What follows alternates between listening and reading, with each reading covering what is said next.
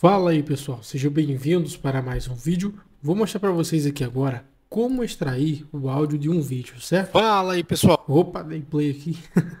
Vamos lá, como extrair o áudio de um vídeo aqui de um o áudio MP3, certo? Somente o áudio aqui no CapCut de PC. Vamos lá que eu vou estar ensinando para vocês aqui. É bem simples, bem fácil, um tutorialzinho passo a passo e atualizado para você. Então vamos lá.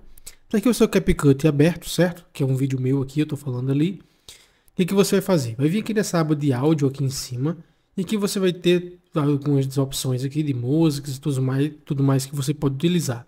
Mas para extrair ou retirar, remover ali somente é, exportar somente o áudio de um vídeo, você vai clicar aqui em áudios extraídos e aqui você vai clicar em importar. Aqui eu vou selecionar esse meu vídeo, certo? Eu quero tirar somente o áudio dele, eu só quero o áudio desse vídeo.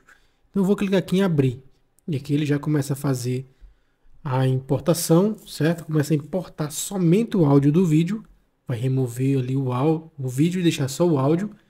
E aqui ele vai carregar, certo? Vamos só aguardar ele terminar. E você vai ver, pronto, tá ali, ó, tá vendo? O áudio já foi extraído. E aqui você pode fazer o que você quiser. Já trouxe a faixa para cá para usar aqui embaixo, certo? Ou então, se você já quiser exportar, tá aqui, ó. Certo? Fala. Você coloca aqui embaixo se você não quiser também não precisa.